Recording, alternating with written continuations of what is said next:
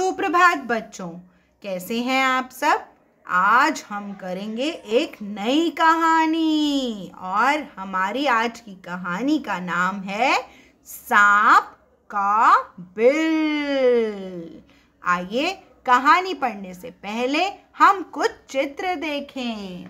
तो सबसे पहले देखें, यह क्या है? यह एक पेड़ का चित्र है। और इस पेड़ का क्या नाम है? बरगद का पेड़।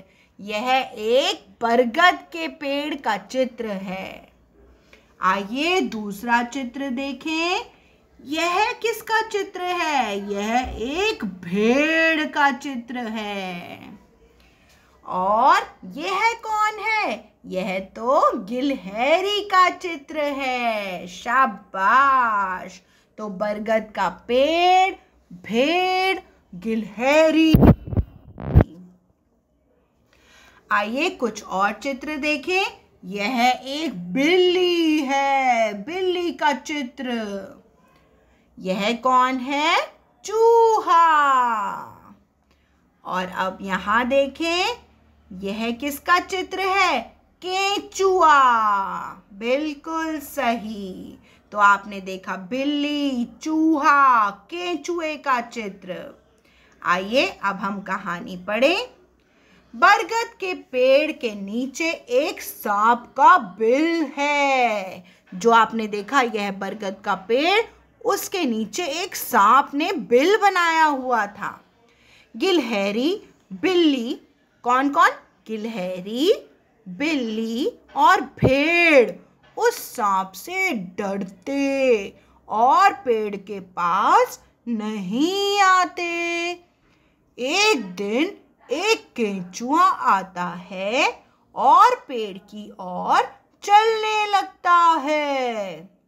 गिलहरी, बिल्ली और भेड़ उसे रोकना चाहते हैं, पर केंचुआ नहीं मानता है। केचुआ उस सांप से मिलना चाहता है, जिसे सब डरते हैं। वह सांप के बिल में चला जाता है, गिलहरी, बिल्ली और भेड़ दूर से बिल की ओर देखते रहते हैं। थोड़ी देर बाद केचुआ बाहर आता है। और सबको बताता है कि सांप अब उस बिल में नहीं रहता।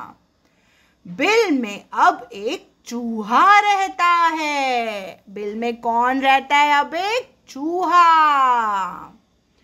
यह सुनकर गिलहरी, बिल्ली और भेड़ को चैन की सांस आती है। क्यों चैन की सांस आती है? क्योंकि उनको सांप से बहुत डर लगता था। अब देखें, बरगद के पेड़ के नीचे क्या था? बरगद के पेड़ के नीचे एक सांप का बिल था।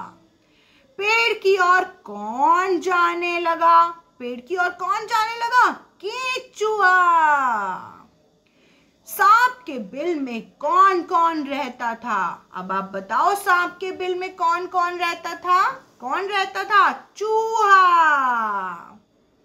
आपको कहानी कैसी लगी? आपको मुझे लगता है कहानी बहुत पसंद आई।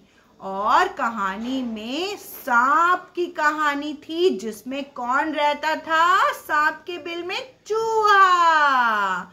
तो आप अपने मम्मा पापा के साथ दोबारा से एक बार फिर से कहानी पढ़ें, सुने और मज़ा करें। धन्यवाद।